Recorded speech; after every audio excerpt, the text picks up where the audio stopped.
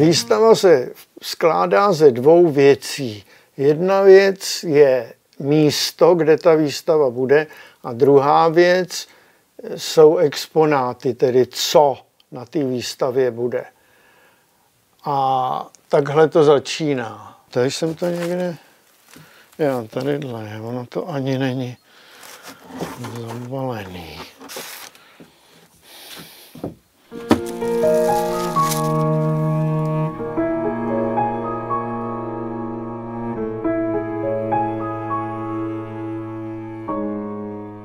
Začíná se na prázdným, prázdným plánku a takhle vypadá plánek, kde už je jasný, kde budou základní velké věci.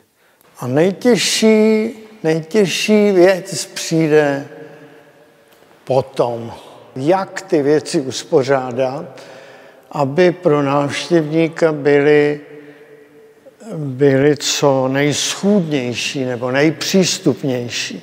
A tady byl záměr jeden hlavní a sice udělat někomu radost.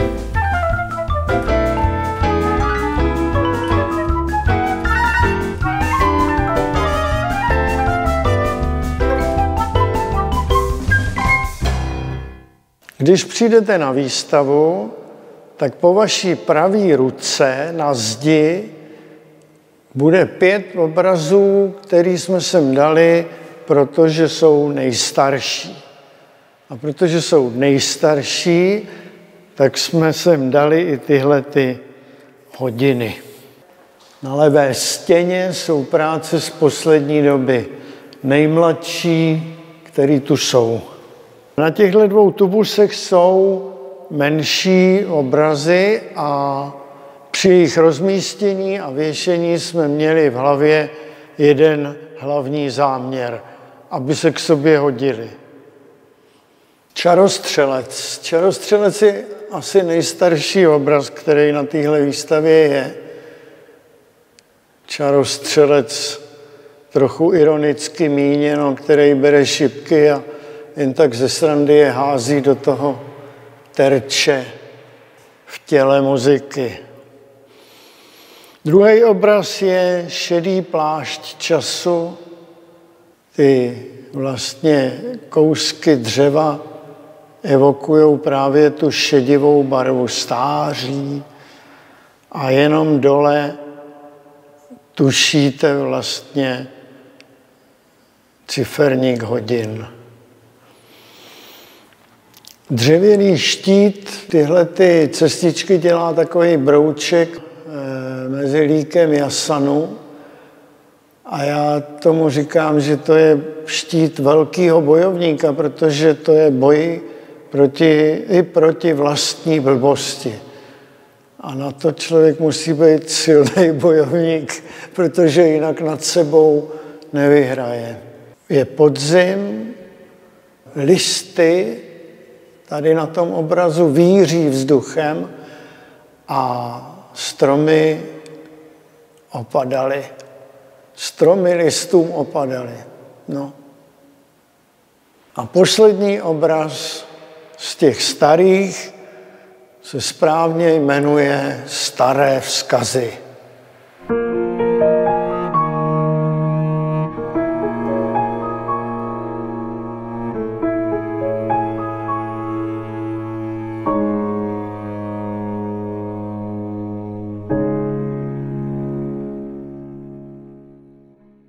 Stará sbírka. Starých sbírek jsem dělal několik a asi ještě nějakou udělám, protože mě to téma pořád drží. Tohle je báječné místo pohádek nebo báječná místa pohádek. To je zřejmě nejmladší obraz, který tu je.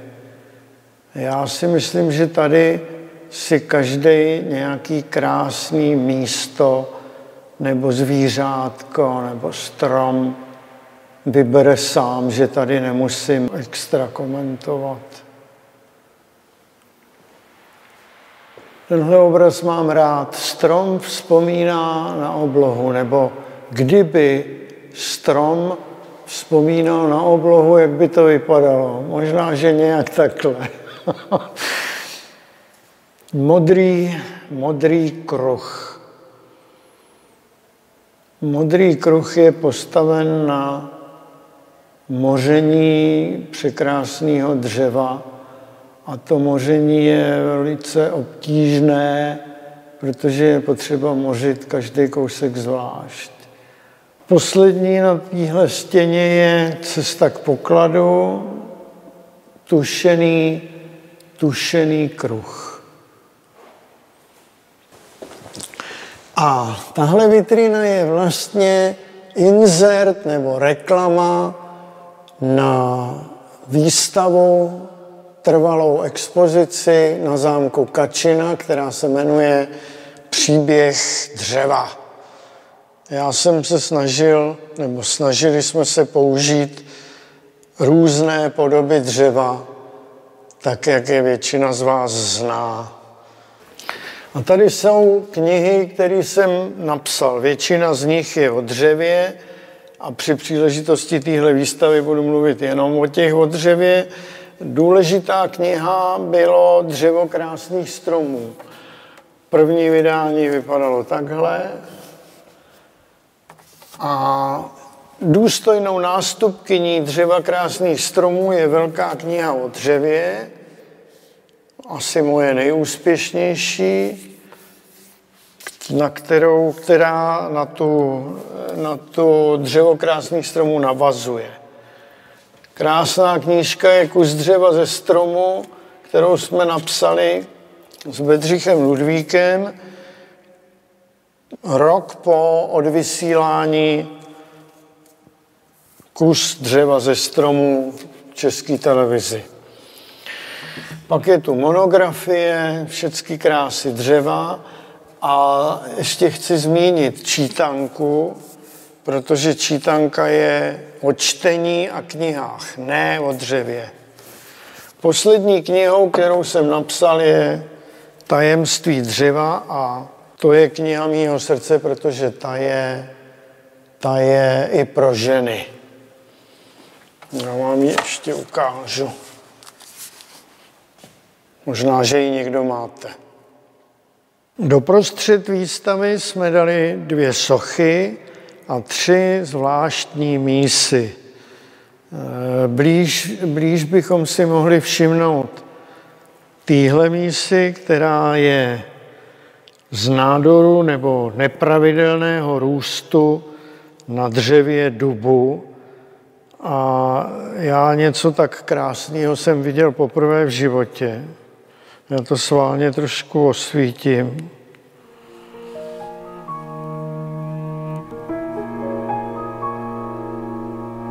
Abyste viděli, že to je skutečně něco extra. Ptačí a ženská linie z hruškového dřeva. Mně se tyhle ty dvě linie pletou do každé sochy skoro.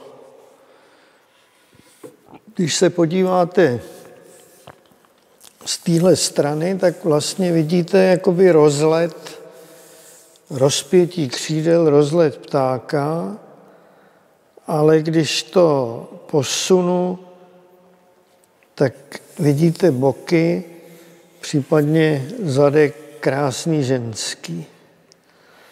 A když se to zase posune dál, tak vidíte zase linii křídel. Tuhle, tuhle hrušku jsem notabene ještě zažil v plné síle. Vyzvedával jsem do její rozsochy svého malého synka.